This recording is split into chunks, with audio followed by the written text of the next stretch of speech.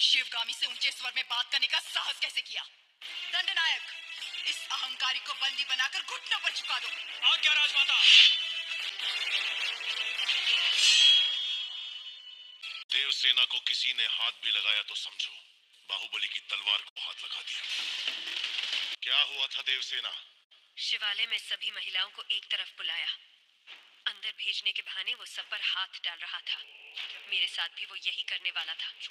तो उसकी उंगलियाँ काट दी गलत किया देव देवसेना औरत पर हाथ डालने वाले की उंगलियाँ नहीं काटते। काटते हैं उसका। गला!